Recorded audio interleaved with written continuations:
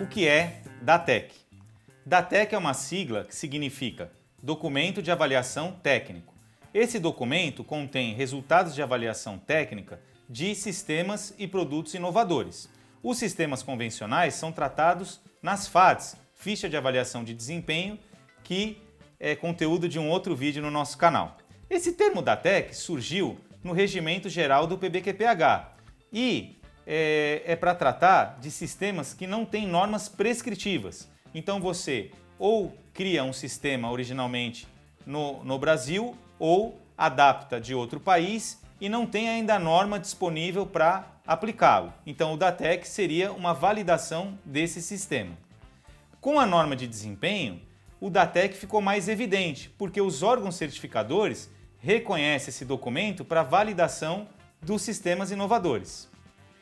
No site do Ministério do Desenvolvimento Regional, esses documentos estão disponíveis gratuitamente. Então está o endereço aí na imagem e você clica lá em SINAT.